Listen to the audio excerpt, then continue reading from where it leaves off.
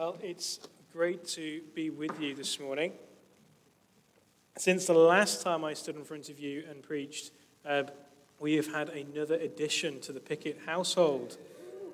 Olive is now over eight weeks old. Um, so if I am heckled during the meeting, it's probably going to be her. Um, if uh, you're brand new here and you don't know who I am, uh, first of all, you are most welcome. Thank you so much for coming. You made a good choice coming when I'm speaking. It's going to be good. Um, I love Jesus. I love my wife and my kids. I have three children, if this works now. Oh, yeah. Oh, look how cute they are. Look how cute they are. Guess what photo we're using for our Christmas presents this year? and I, I work in the church here where I get to support this wonderful, amazing community of people, and in particular the students that go along to Edge Hill. And we do all that we can to, to lead people into life and life in all of its fullness. And we believe that Jesus is at the very center of that. Um, and I do really believe that we are called to live life to the full. And yet, the reality of our lives, as, as God has been telling us this morning, is that we find ourselves in situations where it doesn't seem that we're living a life that is totally flourishing, a, life of abundance. How, how do we reconcile that with our walk and with our, with our faith in Jesus?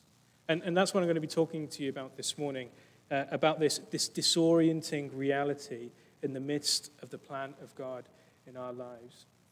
Um, many of you will be aware that, oh, a year ago now, a year ago, um, Phoebe had to go and have major open heart surgery, which was uh, quite traumatic um, for us, a little one year old, not even a one year old then.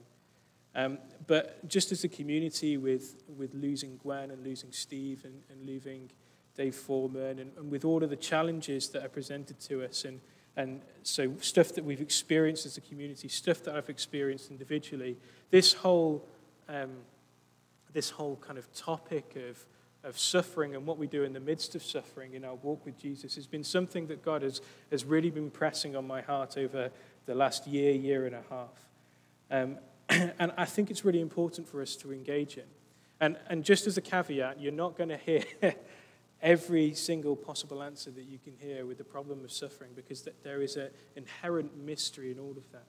And I'm grateful that God has already spoken through, through Jeff and through John this morning that, that covered different facets of how we can deal with the disorienting reality when we face problems in our lives. Okay? So what we're going to do is we're going to read a couple of verses from Isaiah, um, Isaiah 43, 1 to 4. So you can open your Bibles there or you can turn your Bibles on.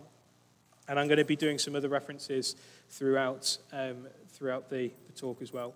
Um, but they're on the screen, so don't worry if um, you don't have, uh, have the words, uh, have your Bible with you. Um, so Isaiah 43, verse 1. But now this is what the Lord says He who created you, Jacob, he who formed you, Israel, do not fear, for I have redeemed you. I have summoned you by name, and you are mine. When you pass through the waters, I will be with you. And when you pass through the rivers, they will not sweep over you. When you walk through the fire, you will not be burned. The flames will not set you ablaze. For I am the Lord your God, the Holy One of Israel, your Savior. I give Egypt for your ransom, Cush and Seba in your stead since you are precious and honored in my sight, and because I love you, I will give people in exchange for you and nations in exchange for your life. Like many of you here, oh, sorry, I didn't flick through this as I was going through. That's my bad. Um, like many of you here, um, I want to make decisions that lead to a life that just feels good. It just feels great. I, I want a life that's pleasurable and has good feelings. Um, I've only met one person in my life before who, uh, who didn't want that. He, he asked for us to pray for him to have endurance at one point. He said, You do realize if we ask for you to have more endurance, you're going to be presented with things that will force you to endure. Yes, yes, I still want it. So uh, we prayed for him. Uh, questioned his sanity as well, but we did pray for him. Um, but I, I, do things and I make decisions to, to promote pleasure and avoid difficulty. So, for like example, you know, most of the decisions I've made in my life, um, uh, the person that I married, um, she's great. She's not here, so you know that. Oh, she is here. There you go. the person that I've married, uh, where I live, the job that I do, um, the hobbies and friends that I've, I've chosen, the sports I play. I, I like them, they bring me pleasure. And we want to live the best life that we can without pain, without suffering, without negativity and crises. And, and we, we think and believe that a life with Jesus at the cent- is at the center of seeing that vision come to reality. And it is so true. But for many of us, it is, it's kind of distorted. Because we read in Scripture that, in fact, we were created for greatness. Did you know that? You were created for greatness. You were created for total and utter freedom. You were created for God. You were created for eternal communion with the Father, Son, and Holy Spirit. You were created so that the Holy Spirit might permeate every pore in your body. You were created that your heart might be pure, that you might see his face. You were created that you might participate in the inner life of God himself. You've got a great future in God. But the way you're going to get there is through this disorienting path at times. And it's not the way that you thought. And the pathway is not a life purely of good feelings without stress. And so, what Isaiah is here trying to illustrate to the people of Israel um, is, is this journey of life, the journey of the spiritual life, the journey of growing up. And this journey is going to be repeated throughout their lives, throughout our lives. You don't just do it once and you're done, um, it happens over and over again. And it's got these three simple movements um, there's orientation, there's uh, disorientation, and then there's reorientation. And, and this is going to frame how we structure our passage. So the first is orientation. This is where things are really secure. I've got a sense of location. I know where I am. I know what's happening. And then there's this thing called disorientation, where there is pain and there is dislocation. Life was good, and all of a sudden now I've been moved and I'm dislocated. I'm out of place. I'm out of whack. I don't know where I am. I'm disoriented. I'm bewildered. I'm confused. I'm baffled. I'm overwhelmed. I don't like this. Anyone identify with those feelings there? Um, and, and then we go to reorientation. And that's a place of new relocation, a place of security, of, of new revelation in God. But it's not bringing you back to the same place as where you were when you first set out on your journey. It is a reorientation. You are different than you were before. But to get to the reorientation, you've got to go through the disorientation. And this really is the history of the people who are listening to Isaiah preach. They were in Egypt, and then they were delivered from Egypt, and, and this is their place of orientation. They were free. Life was on the up, life was looking good. And then, through stupid mistakes and decisions that they they went through, they ended up in the wilderness for 40 years. That was a place of total disorientation. What's going on? Living day to day, one day at a time, with, with manna and with quail coming. And a whole load of other stuff was going on. And, and then they ended up in this period of reorientation where um, they came to the promised land of Canaan, and it was wonderful for them. The problem, though, is that it's not just a one time deal. And as they're listening to Isaiah, they're listening to him talking about this disorienting situation that is going to be thrown their way. Um, they've got all of these empires that are coming and invading their land. And at the prospect of this, they, they, they're saying, We've done this already. We've gone through these crises, we've gone through these difficulties. We went through the confusing experiences of life, and now we're done because now we're looking for the steady, steady, secure, where I know what's happening and where I can have some control. And Isaiah comes and says, No, that's not the way that you mature. That's not the way you grow up. That's not the way that God works. And so here is the context in chapter 43, and I'm just going to try and quickly summarize. There's a lot of history going on, but I'll try and do it briefly. The, the Assyrians were the world superpower, and they were threatening Israel. Um, but by the time we get to here in chapter 43, um, what's happened is that Babylon have come and they've totally wiped out the Assyrians. And the Babylonians, they were worse than the Assyrians. They, they destroyed the temple and they destroyed the city of Jerusalem. The city was in total ruin. In fact, it was in danger of never, ever being built again. So then the Israelites were scattered throughout the Babylonian Empire for a period of 70 years. And so just imagine, put yourself into their situation. First, everything was great, and then the Assyrians came, and there's all this pressure. And then the Babylonians came, and they, they conquered and, and destroyed the Assyrians and destroyed Jerusalem in turn.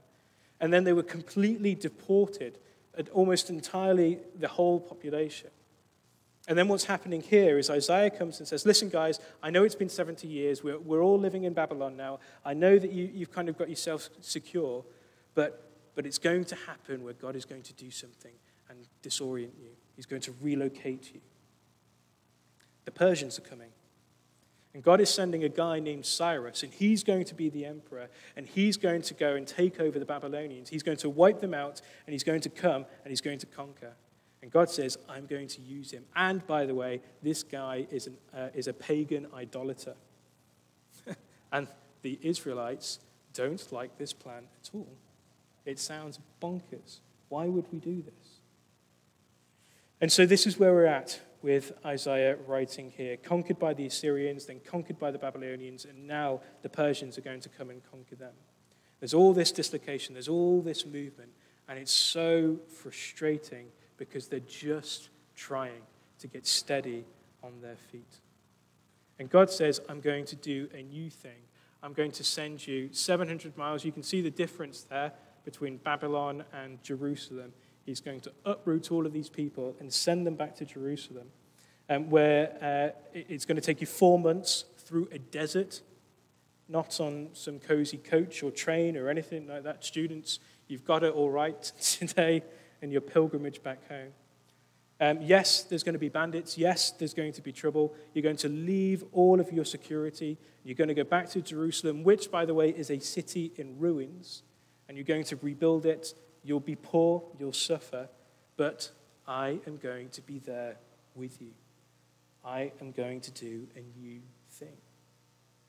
And so God comes into this situation. He says, I'm running the world whether you like it or not, whether you understand it or not. And God just wants to come and give perspective to the Israelites here. Let me, let me grow you up on the nature of life and, and the way that you mature and get free and become all that I've told and called you to be. This is the spiritual journey orientation, disorientation, reorientation.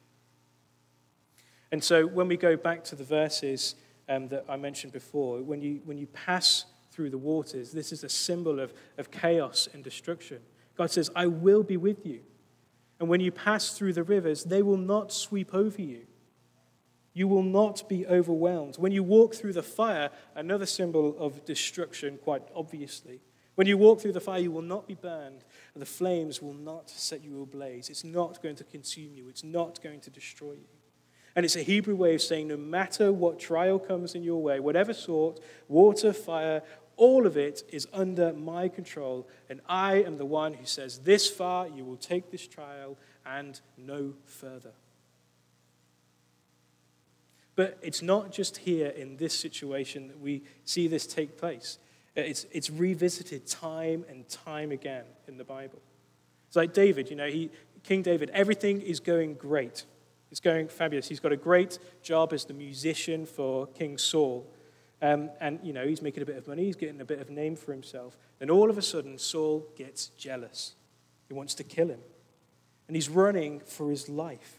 Everything was wonderful last week, and, and then he's, he's on, his, on the run and he's going and he's living in caves, he's living with bandits, he's living with outcasts. And there's this long period of 15 years before David can come and step into that which God has told him to be. Or, or think of Peter. When Peter's like, he has this revelation of Jesus as the Messiah, everything's going great. And then all of a sudden, Jesus says, Hey, by the way, I'm going to get crucified. And Peter says, No, no, no. Hey, Jesus, you can't, you can't be saying that. And Jesus says, Get behind me, Satan. I mean, how disorienting must that have been for Peter, that climb down from that moment? It, it must have felt like everything was crumbling around him. Same thing with Jonah. Jonah's good until God sends him to a place where he doesn't want to go, sends him to Nineveh.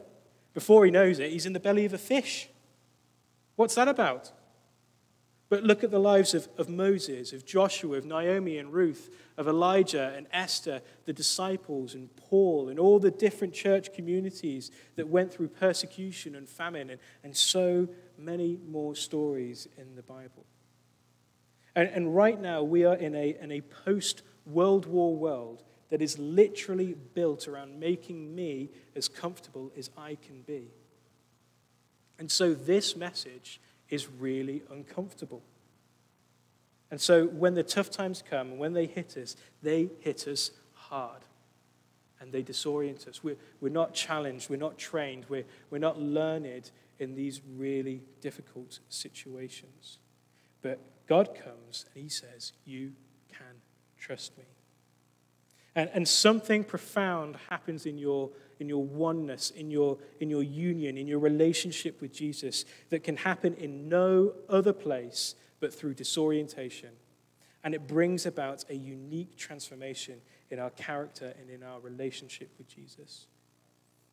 In 1991, um, there was this uh, Texas oil billionaire. His name was Ed Bass. Has anyone ever heard of him before? He, um, uh, as billionaires is their wont, decided to chuck a load of money at a project that uh, went nowhere, and it was called Biosphere 2. It was situated in between two deserts in, um, in Arizona, and it was a sealed glass world, as you can see from the picture. And they put eight scientists there from seven different countries, and basically they wanted to see if they could replicate the, the Earth's environment, the Earth's ecosystem, in an artificial way in this kind of glass biosphere thing. Uh, the glass dome had oxygen, it had insects and fish, it had a rainforest and soil for growing food, and an artificial ocean with a wave machine. Can you imagine how much money this guy has wasted on this enterprise? The scientists initially were super, super excited because they planted um, plants and trees and they grew a lot quicker than if they were outside in the world. Um, but what happened is many of the trees, they began to fall um, before they reached their reproductive stage. And they found out that the absence of wind in that glass dome could not produce trees that were, uh, trees that were strong enough. The wood was too weak to reproduce. And they found that trees needed strong headwinds um, and that they were absolutely necessary to produce trees that were just simply strong enough. It's very interesting, you know, that this whole dynamic of why do I have to go through fires and waters and get overwhelmed to get strong? Uh, in the 16th century, a Spanish priest known as St. John of the Cross. Anyone heard of St. John of the Cross? David Rayner, legend. Um, he wrote a highly influential book known as the, the Dark Night of the Soul. Um, he went through some traumatic circumstances himself. He was, uh, he was put under torture for his faith. And he wrote this book as a kind of a reflection on, on life and on that season. And he said that the reason for this, this disorientation and the dark night was that, that there are these false images of God that we carry that have to be destroyed. And these false beliefs about God, that they have to be rooted out of us. And the only way they're going to be rooted out of us is not from hearing it preached, it has to be lived. It's got to be lived. And he says that the biggest thing that happens in disorientation is you're no longer following God because of the good feelings you're getting for, from Him. You're actually following Him for Him. And, and the only way to pull you from following God for what you're getting out of it is to, is to pull you into disorientation, that you go through fire and water. And so we don't get attached to just the good feelings that we have about God. We get actually attached to God for who He is. And it's such a big difference between the two. And so, where do we go from here? What do we do if we find ourselves in this season of disorientation? Well, the first, I think, is to, um, and, and just to say again, just to repeat, I'm going to share three things here, but that is not a, a, a panacea for, for all of it. But I think finding peace in the age of distraction is, is really, really key. For, uh, for me, one of the things that I know that I have done and that I'm prone to do is to distract myself from stuff that is going on. The 17th century thinker Blaise Pascal, in a, in a famous essay, says most of the troubles of the human race can be traced to the fact that people cannot spend time on their own in a room. Uh, I'd like to add to that, by the way, not scrolling on their phone. it means on your, on your own. And he has this whole section about how we cannot cope with the bigger questions of life and death. In a way, we fear death. We, we fear annihilation. We fear that we might be meaningless, we, that we might mean nothing, that we might not be loved. We fear all these sorts of different things that are lurking around in the background, and we cope with them by distracting ourselves. That's one of the ways that we do. And, and Blaise Pascal is talking in the 17th century.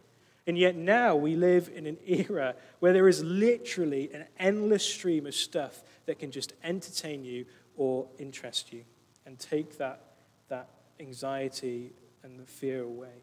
So, when we talk about distraction, distraction is one of those things that, that covers up our lack of peace and our anxiety, and our, our, our, ultimate anxiety about a lot of things. And so they've become these coping mechanisms that, that we have to deal with disorientation. We find these distractions. These, these things aren't bad in themselves. Mobile phones are not bad, they're great. Um, very, very useful. Very, very useful. I don't really remember a time when I didn't have a phone. I'm sure there are people, I don't know why I'm looking at you, Jeff, I'm sorry. but having hobbies or, or watching Netflix or, or doing work and having your social life, whatever it may be, these things aren't necessarily bad. But when they become a distraction from actually thinking about the bigger things of life, life and death, meaning and purpose, love, and our, and our fear that we don't have those things, it should be a big red flag. And it actually leads us to, to medicate away our problems uh, without actually dealing with them. And in many senses, it just ends up replacing God and our relationship with Him. And I, I think in the world that, that we're in, where you, you just see everybody desperately seeking distraction of one kind or another, that's a sign of the lack of peace that we sometimes experience. But Jesus comes and he starts speaking about peace quite significantly. And in John 14, Jesus speaks about peace and he says, Peace I give you, but not as the world gives. And that makes you think out of, uh, thinks about, you know, what are the differences between the peace that Jesus brings and the peace of the world. The peace in the world are those, those little moments of quiet. You know, when you, that you get perhaps in a day or two. I don't know the last time that we had a moment of peace in our household. Or, or when you're on holiday or, or things like that. You know the kind of thing that I'm talking about. But, but then with Jesus, there's a, there's a big difference because after he's been crucified and after he's been resurrected, the very first thing he says to the disciples is, Peace be with you. And I think that's the significant thing about the peace that the Bible talks about. Ultimately, it is a peace that comes from the other side of the grave. And that's why it's different from anything that the world brings, because the world cannot do that. It cannot bring a peace uh, from the other side of the grave. And the great news is this that God has given us the Holy Spirit so that Jesus can be present inside each and every one of us. And as we are present with Him and remaining close to Jesus, peace begins to seep into the corners of our lives. And that's huge. But if we are living in this age of distraction, then we are being distracted from remaining close with Jesus. I remember when I first started practicing silence with Jesus, uh, just trying to spend five to ten minutes a day in silence before God with no other agenda than to just simply be present with Him. And this was really difficult for me um, because I don't enjoy doing nothing. I would, I would not be the savior of this world, according to Blaise Pascal. Um, uh, and, and I remember the first times that I was doing it, and I was making myself present to him. And I realized how much I'd papered over my anxieties and my stresses with distraction. I remember beginning, I was sat at my desk, and as I was just trying to be present with Jesus, I just remember my hands starting to tremble and to shake.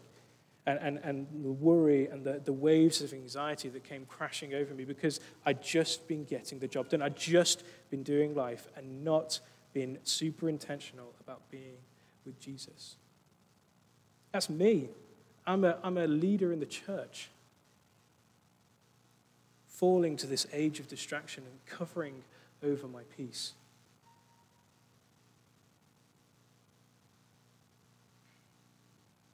The other thing that I'd like to talk about is that you have been set in community.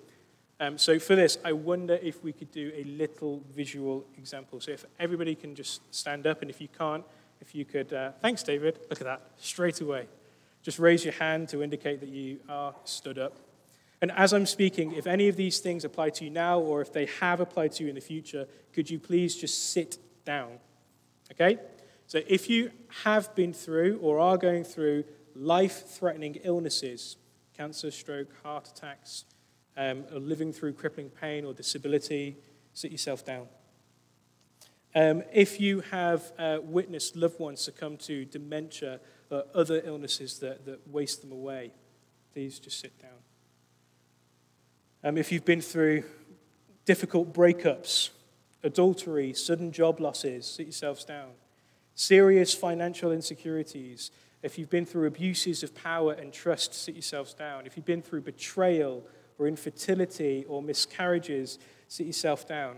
Sudden loss of loved ones, wayward children, broken families where there's hatred and bitterness, addictions that have been destroying you or your family, loss of purpose, anxiety, depression, suicidal thoughts, self harming, God feeling distant or absent, serious questions about the goodness of God, about the Bible being relevant today, total loss of faith. My goodness. Ugh. I think we should just get Emmanuel to come up and, and speak. The point is that aside from Emmanuel, he was just something else. there is a shared experience of pain and suffering in this room. God has set us in community for purpose. And one of those, quite simply, is, is to love and to support each other. And to love and support each other with the same love that Jesus has shown us. He said, No greater love is there than this, than to lay one's life down for a friend. My mantra to the students, but equally to each one of you, is suffering in silence is not a successful strategy. we can be praying, and we do so well, particularly for people that are going through illnesses and difficulties like that. But, but do, we, do we share with those that we're close with actually what is going on internally? The fears, the doubts, the hopes, our dreams. It doesn't just have to be negative, but the positive stuff as well. We can be honest, be open, be vulnerable. Tap into the amazing resource that is the community of people that God has put us together with for love, for wisdom, for support. Discipleship is always done in community. And the last point I want to say, if it's going to let me, trust in Jesus, big type.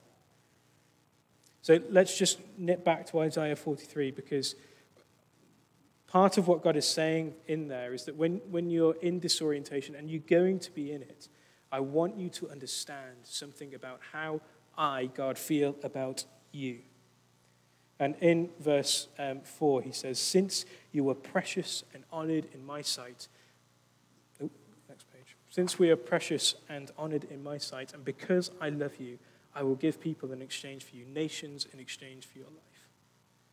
Some of us, um, if not all of us, at some point in our lives, have, have had an image of God in our minds where He's constantly frustrated with us. He's angry, he's, he's irritated, he's disappointed. Maybe he's self righteous, maybe he's explosive, he's unpredictable. Uh, and God's maybe more of a, a prosecutor than a defense attorney. But God comes and just wipes that all away here and says, You are precious. And, and that is a word for a groom over his bride. You are precious and honored in my sight. You may think that I've abandoned you, but you are precious to me. I'm, I'm on this whole thing because I'm bringing you to reorientation. It's not a mistake, and you can trust me. You are honored and you are loved. Oh, goodness, you are such a treasure. God pursues us. He pursues you because He loves you so much. He actually came to earth and died for you to show His love for you. And, and so he says in verse 5, he says it in verse 2. In fact, it's all over Isaiah. He says, Don't be afraid, don't be afraid, don't be afraid, don't be afraid, don't be afraid. He offers rest. He says, I want to, I want to comfort you. I love you. And what you get from these verses is, is the passion of God. He's passionately in love with you and with me and he, He's growing you and setting you free. It's just not the way you thought it would be. So, as we close here, if we could just do one more visual example, okay? I like my visual examples. So, I'm going to say some stuff here, and if it's relevant to you, I'd like you to stand up this time. Or if you can't stand up, raise your hand to indicate. And as I go on, if there's more than one thing that applies to you, please, I strongly encourage you to respond with shouts and alleluias um, and any kind of joyful noise that you might have. Okay? If you have ever experienced God's healing power physically over your body, please stand up. Hallelujah! I mean, before I go on, let's just pause there and look at the people that are stood in this room. People that testify to the fact that God has intervened miraculously and seen healing in their body. And in a time when we are calling out on the Lord for the various situations that are in our community of people, this is incredible. Lord, do it again. Um, if you have ever been set free from addiction to drugs, to smoking, alcohol, porn, or any other destructive habits, please stand up. Uh, if you found reconciliation in broken relationships with spouses, with children, with friends, with family, stand yourself up. Miraculously been provided for when there's been little money or resource. Got the job when least expected. Been freed from the prison of mental health issues like self harm or bulimia, schizophrenia, PTSD, or anything like that. Experienced the presence of Jesus like nothing else when in the face of significant trauma. Been depressed but given hope, been down but lifted up, been trapped by anxiety but found peace, doors opened when all had been closed, been lost but been found, exhausted but given strength, filled with self hatred but now overflowing in love, broken but made whole, walking but now running, cold but now set alight, confused but being given wisdom, lonely but found friendship disoriented but then reoriented, sorrowful but found joy, empty but now full, dead but now alive. The resurrection power of Jesus. Look around. A living, breathing, beating, walking, talking, no denying testimony to the power and love of God. Hallelujah. Hallelujah. You sit yourselves down. Disorientation is a necessary and pivotal part of our discipleship to Jesus Christ. It's where the old goes and the new comes, and we are conformed to be like the image of Christ. It's a key means by which we are brought to maturity. Some point or other, we will go through this. If you're not in disorientation now, don't worry, you will be at some point in the future. it's painful, it's difficult, it literally hurts like hell.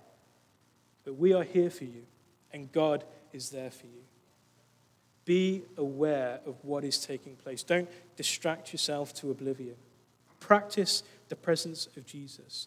Hunger for his peace. Be in community. Don't just be a part of it, but be in the community. And remember that God is bringing you closer to Him and that you will know Him for who He truly is. Father, we just come before you now in whatever season of life that we are in. And we just want to say thank you. Thank you for Jesus. Thank you for the sacrifice that he made for each one of us. A, a demonstration of your passionate love that is, is driving and pursuing to set us free. And Father, when in the midst of these, whether we've been through it before and we've been confused, or we're confused now, we're going to be confused in the future, Father, we just want to come and surrender our lives to you afresh. And say, Lord, it's your way, not our way. And we come before you and say, We trust you. In the midst of the bewilderment and the disorientation, Lord, we trust you. And Lord, that we might know your presence in you and, and unfounded ways than ever before.